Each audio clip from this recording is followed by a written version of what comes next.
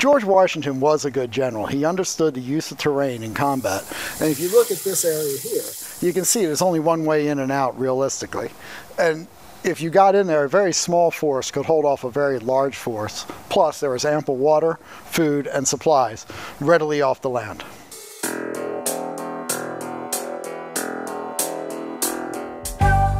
With the Revolutionary War undecided at Valley Forge, George Washington and Daniel Morgan had a backup plan if things did not go well in the summer of 1778. The backup plan was to retreat to the Shenandoah Valley, specifically Fort Valley. Fort Valley is a 23 mile long valley contained within the Massanutten Mountains in Virginia. The sides of Fort Valley are high and steep, and the access points are few. Even today, Fort Valley has a stream for water supply and abundant game. From the ridgeline of Fort Valley, any British colonial force could be seen for days before it arrived. The Massanutten Mountain is the eastern ridgeline of Fort Valley, splitting the Shenandoah Valley into two parts. The wider path where Interstate 81 and US Route 11 are today contains the Great Warrior Path or Great Indian Warpath. The narrower side is where modern day US 340 is located. Massanutten Mountain Fort Valley runs from Front Royal to Harrisonburg. A military force within Fort Valley would be able to hold off and harass a force many times its size.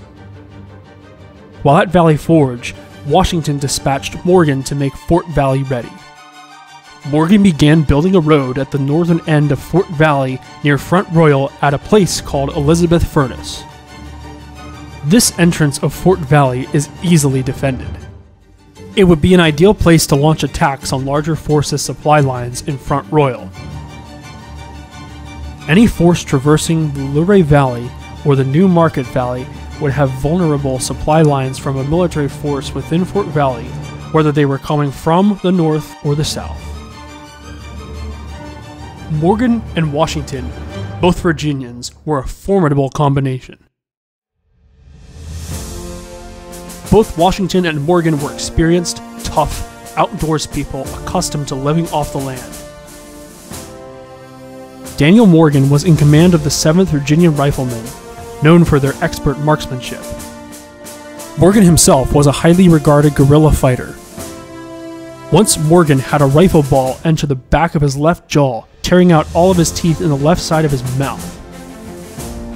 Morgan is later credited as the architect of the colonial victory at the Battle of Cowpens. Washington and Morgan's strengths complemented each other.